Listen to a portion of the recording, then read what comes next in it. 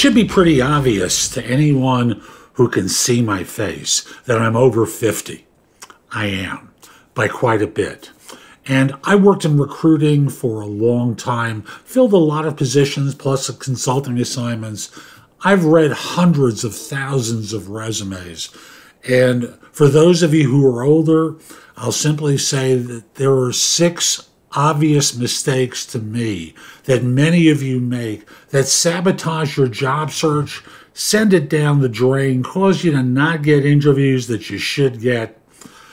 And let me just go through a few of them, okay? Number one, you submit a generic resume that places too much emphasis on the wrong experience. You include everything about your background, but don't emphasize what matters to the particular employer. Generic resumes don't work, particularly as you become more experienced, because there's just too much there and the result winds up being you create a resume, this is number two, that's too long, that doesn't make a good enough case early enough in the resume for how your background fits what they are looking for.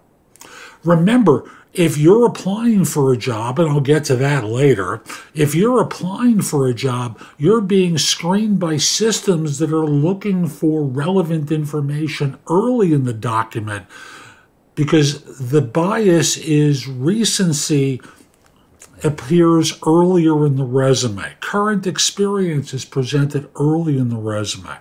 If they find it on the middle of page two, systems tend to think of it as being older. So the second point involves your resume is too long, primarily because you're submitting something generic. Number three is you miss particular keywords that the software as well as corporate and third party recruiters want to see to demonstrate your fit for roles. Follow that one. You may have the right experience, but you don't use the correct terminology to demonstrate fit. This goes back to the generic resume. You need to tweak your resume to use the terms that you understand that they want to see based upon the ad, what you've been told, whatever it is so that it appears in the resume. Number four is you apply for jobs that you did five years ago and expect to be interviewed for them and earn the same salary that you're earning today. This goes back to something that I answered for Career Coach office hours recently, where someone said, You know, I'm getting these rejections because they think I'm overqualified.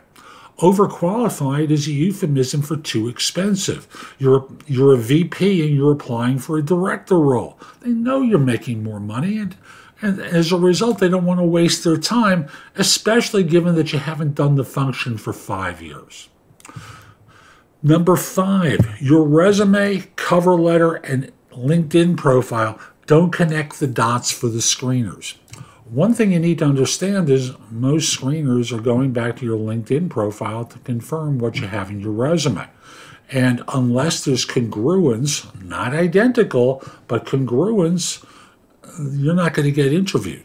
So if you're applying for a director job and your res- and your LinkedIn profile says you're a VP, you got a problem there.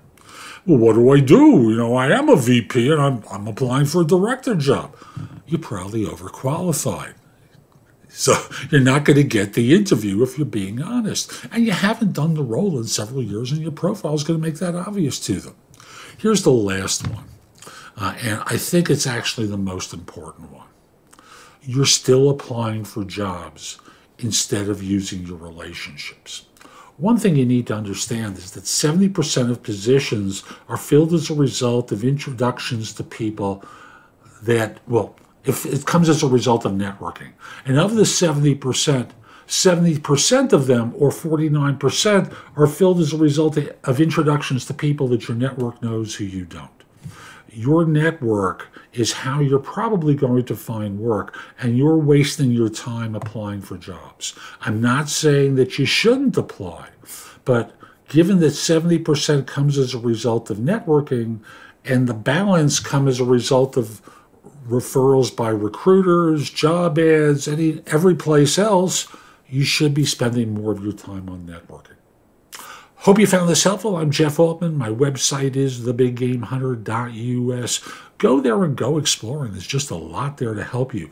In addition, you can schedule time for a free discovery call, schedule time for coaching, find out about my courses that'll help you with your search, as well as you know, schedule time to talk with me. Lastly, connect with me on LinkedIn at linkedin.com forward slash IN forward slash the big game hunter. Have a terrific day, and most importantly, be great.